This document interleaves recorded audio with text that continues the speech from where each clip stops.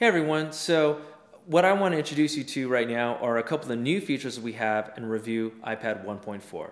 Right, and those features include the ability to record audio markups and the ability to record video markups simply using the hardware already built into the iPad.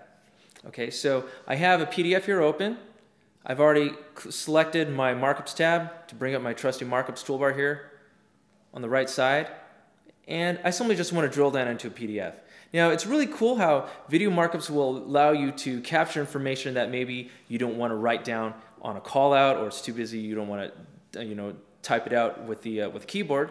So you can simply just record the audio, or if it has, happens to be a sound of something clanging or something else going wrong, you can simply just uh, capture that on um, MP3.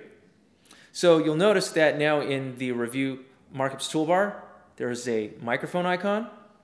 Okay, and when I click on that, I have a couple options here, basically to play, to stop, or to record. So in this case, I'm just going to simply record something, uh, let's say in reference to room uh, 1242.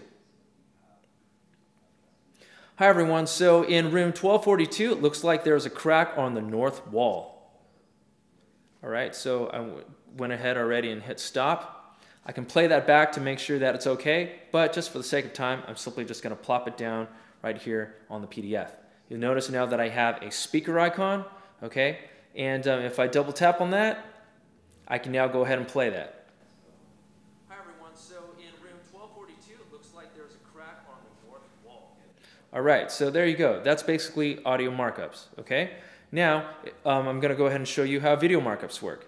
video markups just basically leverages the camera that's already in Revu iPad, or sorry, in the iPad. And again, you can take um, shots using annotation mode or file attachment mode.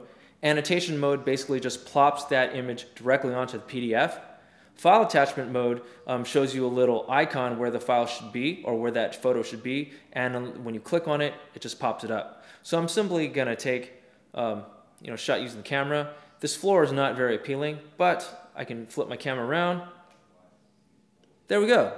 It's me. All right, so uh, got a picture of myself. I'm going to use that so I don't need to keep taking new pictures of myself. Um, and just pop it right there. All right, so you notice that uh, this is now a camera icon. If I double tap on that, get a picture. Awesome. All right, one more time. When I select file attachment and camera, you notice that I also have the ability to move this from camera mode to video mode. All right, so I'm going to go ahead and slide that over here.